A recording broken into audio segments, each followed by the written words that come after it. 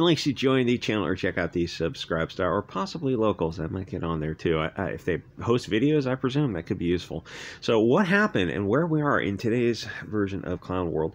So, Wizard of Oz remake with BLT representation as a part of the story that reflects the world fabulous. Kind of reminds me of the 80s, 90s when they uh, were talking about rap music and people were pointing out just the horrific levels of ultra violence in the music, and they're going, "Oh, well, it you know uh, reflects the culture or reflects the, I guess, the life, whatever." You know, I kind of wondered about that. Uh, it seemed like um, tail wagging the dog, or these these you know the witches around the the cauldron uh, muttering their incantation, incantations to create craft some some evil. I couldn't help but think like, yeah, maybe you got that backwards. You're you're creating the culture by uh, crafting these songs of just the most horrific ultra violence. I, I, you know, I wonder if you wrote something different, you wouldn't change the culture around that. But you know, there's money to be made, and there were other forces at work uh, behind the rap game in the early '90s, late '80s, when all of a sudden they discovered that gangster rap could be very profitable and also perhaps achieve other goals of these uh, Machiavellian Machiavators. So Hollywood crafts a society by manipulating the media. Media creates a society, but it also kind of um, it kind of goes back and forth. So if you control the media, you end up controlling the narrative, and you can use this incremental generational brainwashing to achieve some pretty horrific goals. If you look around this current Weimar, um, and you can craft the narrative to say anything you want to slowly, slowly uh, boil the frog and get people to accept the most horrific things. Again, again, 2022, current year, we live in a society.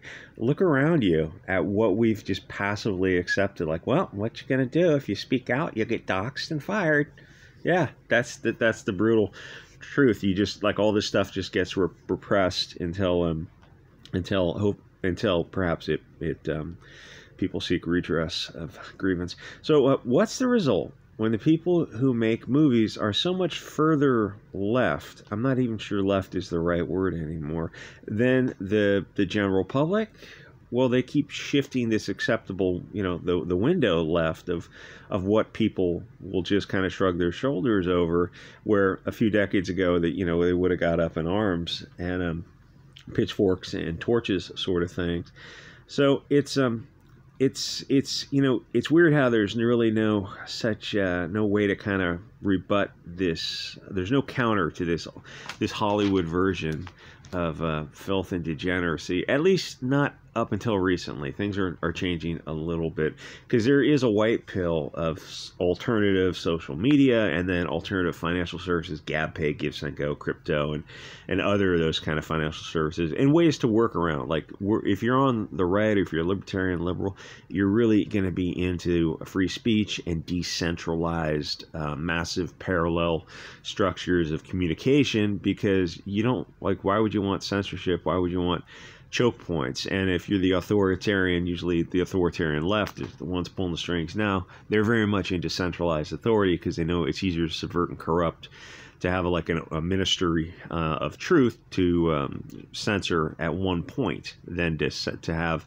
all these massive little workarounds. There's a there's some some Bill Gates and a bunch of other people were I don't know, the European Union were given some speech and they were very concerned because they needed the they needed to be able to censor all these websites that were popping up and all these social media platforms and you know, people in the audience were I'm like listening thinking, wait a minute, who are you to tell other adults what ideas they can contemplate? And in, in Europe, um, well, they have the right to uh, you know they, they never thought they needed a, a piece of paper, a Bill of Rights that said speech was important, free expression needed to be protected. And as a consequence, it's like if you're in Europe and you want to access some websites, or, you know, just the most normie of websites and channels, you're going to need a VPN or a Tor or something like that, some kind of workaround because they've uh, they've acquiesced to allow the government to censor what ideas they may consume. It's like, well, that, that doesn't. It seems like seems like it's this top down a dictatorship instead of a, a, republic of the people. But that's why they that's why they keep using that word democracy. Like I don't think that word is is that word even in the Constitution. It, it's a republic, gentlemen. If you could keep it, looks around 2022, realize oh I guess we didn't keep it. Anyway, so um we uh, we have these tools in place now. You know, Odysee, BitChute, all these other and Shing just popped up too. The Shing works great. It's a live streaming platform where we can slowly start to counter their narrative in a way that just wasn't possible 20 years ago, maybe even 10 years ago. I mean, things are things are exciting now. If you're if you're involved in this any aspect of the culture war and you're not on the side of these filthy globalists, then yeah, things are kind of things are kind of moving along quite nicely. Um, and and people are supporting it. I mean, I, people are, you know, I'm on Subscribestar, and and there's like there's a bunch of other people who are doing this kind of stuff, and like yeah, there's no advertisements for the you know for the Odysee BitChute type of channels. It's like it's all it's all supported by just like the same crowd of people, um, and the sport's out there. It's it's kind of an exciting time to to be in. It feels like a little bit of a precursor to a I don't know revolution or something, a peaceful, constitutionally protected one, of course. Anyway, so now we have the opportunity to um, to turn a what was a monologue into a dialogue in a little little ways, and um, organize for you know a peaceful uh, expression of different opinions. Somehow, I don't think they value diversity of thought. It's diversity of approved thought and, and even then it's very tightly. Literally uh, they floated that idea a year ago of a, a minister of truth. I forget that girl's name um, in america to counter disinformation and misinformation. Like so why why would one central authority decide what is misinformation when we the people can decide for ourselves? Let the uh, open marketplace of ideas sunlight be the best disinfectant. It's like no no we need to we need to we need to decide what's true. It's like but doesn't the government have a history of lying to us yes, that's true, but if we can control the narrative, we can just erase that history. And that's that's literally what's going to happen. So, um, what if we move the window to the right a little bit? You know, started uh, started crafting our own narrative because it's not really just live and let live with Hollywood. You can't just silently not watch some show.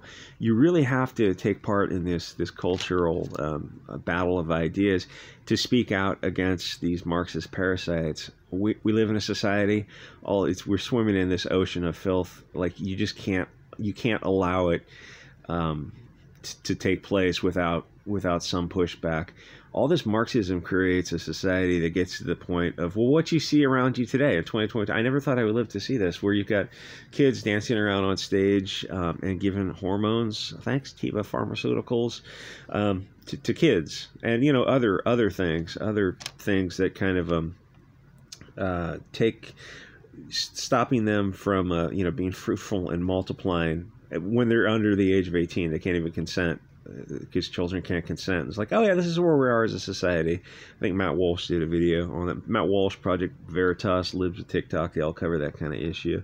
And you know, if you if you talk about it too much, you, you just get shadow banned and then eventually kicked off. So all this kind of stuff has to be destroyed because you know this just gets worse until what actual sacrifices to Moloch.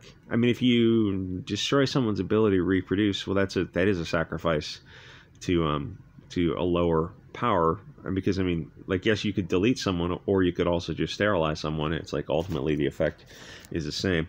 So on the creative side isn't anyone curious why they don't just create their own stories? Are they really nothing more than culture vultures cultural parasites?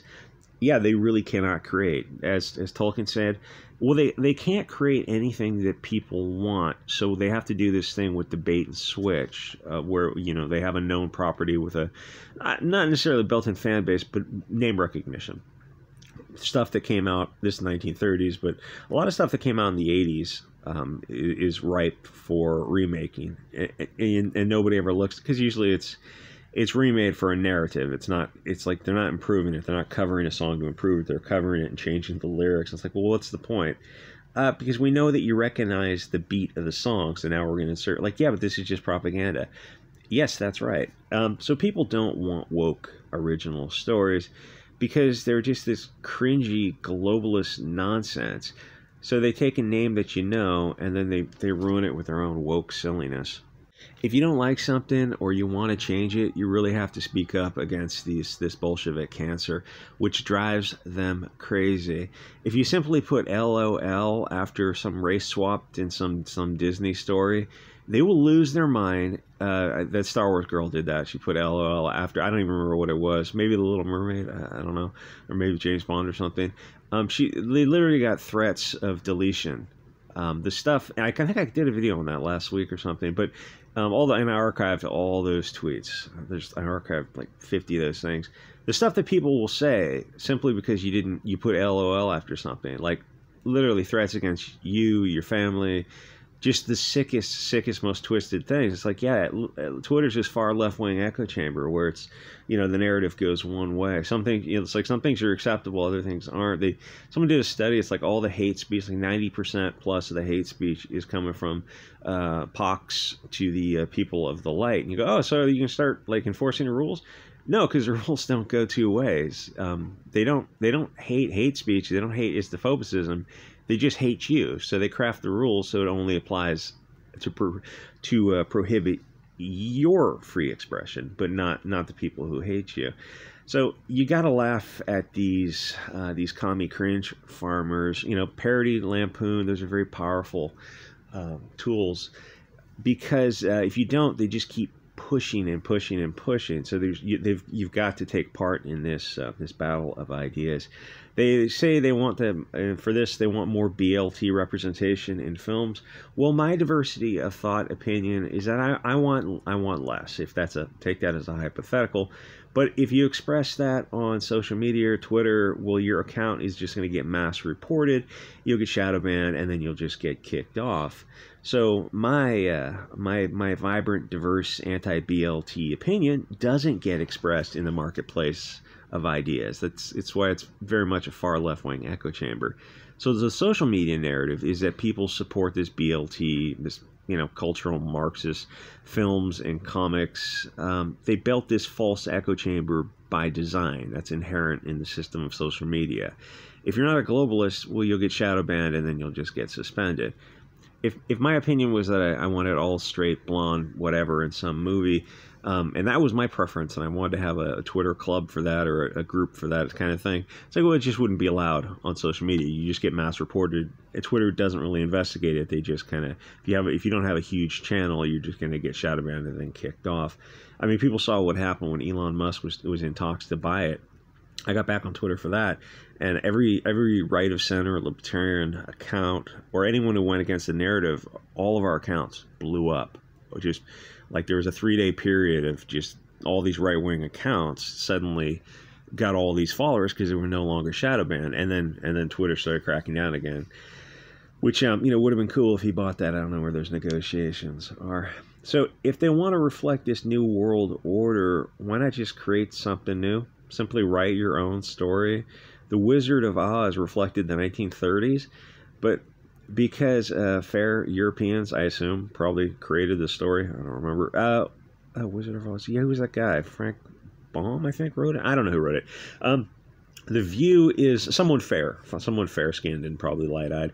The view is that it's acceptable to subvert and destroy it, and it only goes in some direction. If if if a non you know fair skinned person wrote some story and um, Hollywood decided to remake it, well, they just wouldn't because I mean Hollywood's the same globalists that are on Twitter. But that's my point is um, when you talk about like uh, people get on Twitter and go, yeah, yeah, we don't want to see you race swap these European characters, and then you say, oh yeah, you should race swap these African characters. They lose their mind because in their mind they don't they they dehumanize European characters, European people. They don't see them as having valuable stories or being valuable, having value to the stories, which is funny because they created the stories that um, they're trying to subvert now. They literally, you know, the Englishmen or the whoever Hans Christian Andersen wrote these stories, uh, even Walt Disney, you know, created this stuff, and they're being swapped out of their own stories, out of their own history, because people on Twitter they've been conditioned to just not value not not see European people as as human, not see them as, as valid.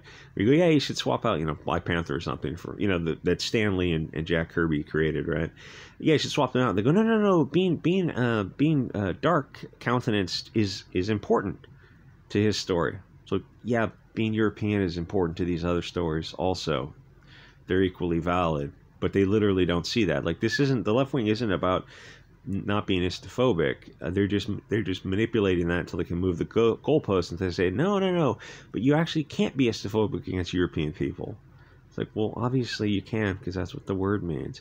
But if you, I mean, if you control, if you control, you know, these these alphabet uh, social control groups, then you control the narrative. You can just pressure a dictionary to define woman as not man and man as not woman. It's like, yeah, those those aren't those words don't mean anything. You just like it's you're not a valid dictionary, you're not a valid definition if you can change it overnight. Things have to evolve organically.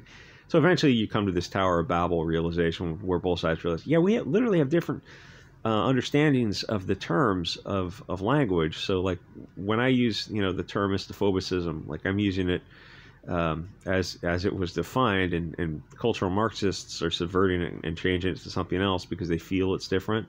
I mean, they never you never stop to consider like, oh yes, but we feel it's different also. And then like it's an it's not an argument based on logic. You can't win that. It's it's appeal to emotion. I feel because of these reasons. Um, this word only includes these people, and then you raise your hand and go, yes, but I feel the opposite. And you know they lose their freaking minds but and they go, well, well show them, back it, backed it up with logic. I don't have to refute an emotional appeal with a logical one. I can just simply refute with an emotional one. They're both worthless arguments. They're just your feelings. But I mean, we're not getting enough of this frank discussion, and obviously, there's more I could say, but not on not on YouTube, because you just get kicked off the platforms. You like YouTube has kicked off thousands of channels since since um, uh, 2016. Channel any channel that that helped move craft things in that direction um, there thousands of those channels were kicked off, like a hundred big, big, well-known channels, you know, in the probably the six figures. But then there are thousands of other smaller channels um, that got demonetized and then shadow banned and then finally got kicked off. It's like they were a part of the narrative, but you look at YouTube and YouTube's, you know, it's got to be the number one video hosting platform, I assume but it's it's it's like completely a left wing echo chamber because all those guys they they saw that Trump got elected and like yeah we can't let this happen again. So they kicked off all those channels. You know Jones is one of them but there's a ton more that all got kicked off. You probably weren't even watching them. They're all you know Odysee BitChute private websites now but it's like the power to control the narrative is so insane. I know it's like politics and this is Wizard of Oz. It's, it's just pop culture, but it's really not. It's all connected. That's why people go, why do you still make YouTube videos? It's not like it's not worth a dollar a day from YouTube because I think it's an important part.